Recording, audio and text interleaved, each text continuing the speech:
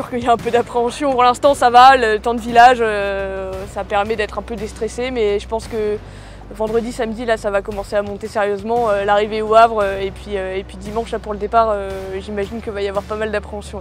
Et, j'ai hâte d'être au départ. moi, j'ai baigné dans le milieu de la voile depuis tout petit. C'est vrai que j'ai été mis sur un bateau quand j'avais deux ans. J'allais voir les départs de course avec mon père dans un premier temps sur le Zodiac. Il me disait que ça me faisait rêver, mais j'ai mis un peu de temps à passer le cap. Et je reviens là avec des autres gamins quand je fais la solitaire. Il y a toujours un peu de stress de réussir à bien gérer le. de réussir à bien gérer la course. Pour l'instant, le focus est sur l'étape et faire une belle première étape, c'est surtout ça.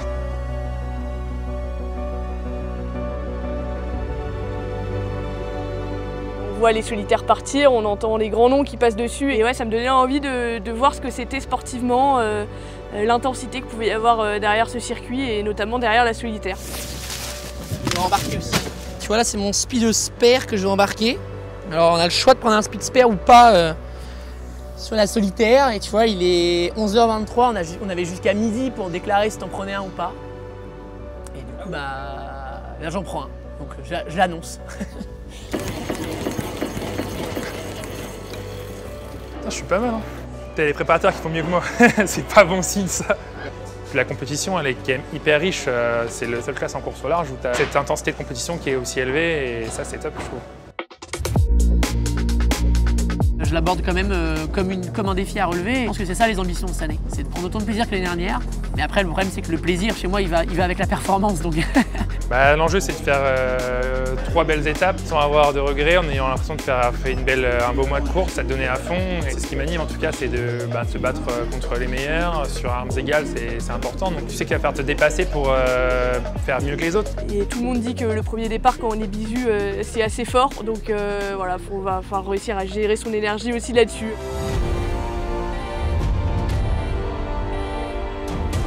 Un peu de stress, euh, je l'ai senti monter hier euh, au moment des briefings et je crois qu'il faut partir sur l'eau et commencer à naviguer pour pouvoir se concentrer sur autre chose. Plutôt détendu, hâte d'y aller. Première étape qui va être euh, dans un premier temps assez musclée parce qu'on va avoir plutôt des conditions de vent forts sur, on va dire, sur les premières 12 heures. Une étape qui va être longue, qui va être, qui va être rythmée, donc il va falloir être dans le bon, dans le bon tempo tout qui est prêt à bord, la météo, euh, les parcours, les roadbooks, euh, tout est, tout est dans l'ordi. Donc maintenant, il n'y a plus qu'à mettre les voiles, prendre un bon départ et s'extraire de la baie de, Seine euh, en bonne position idéalement. Et après, on verra ce qui se passera derrière.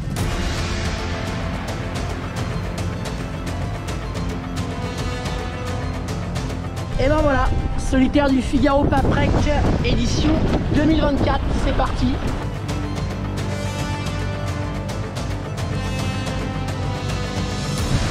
Lumière du matin, c'est sympa. Les mauvaises nouvelles de la nuit, c'est que ce que j'ai pu réparer hier en haut du mât, ça a lâché. Donc je monte au mât aujourd'hui. J'attends que les conditions se calment un peu. La mer est trop formée. Ça devrait s'améliorer d'ici peu.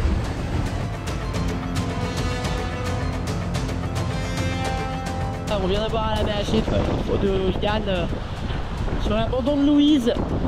Les de la solitaire, euh, bah, ça fait mal au cœur parce que parce que je pense qu'elle a envie d'y aller et elle pourra revenir et euh, reviendra plus fort j'espère.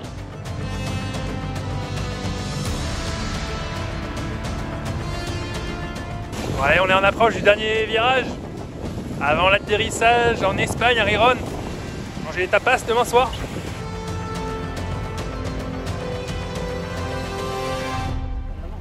Hola Gaston je pense qu'il a été plus dur pour moi que pour pas mal d'autres parce que j'ai des, pas mal de soucis techniques qui m'ont handicapé, qui m'ont demandé de beaucoup barrer de bateau, de passer beaucoup de temps à, le faire avancer et c'était pas simple. Je suis monté en humain aussi, ça c'est une grande première. D'être euh, dans les vagues, là en haut de ton mât, en train de bricoler en pleine course. Mais bon, c'est bien, c'est fait.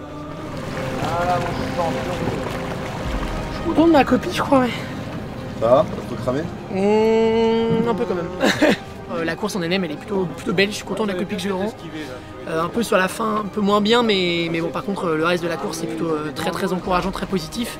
Avec la fatigue, là, tu as du mal à te dire que tu es content, mais je crois que quand je vais regarder ma, la carte de main, je me dirais que j'ai plutôt bien navigué.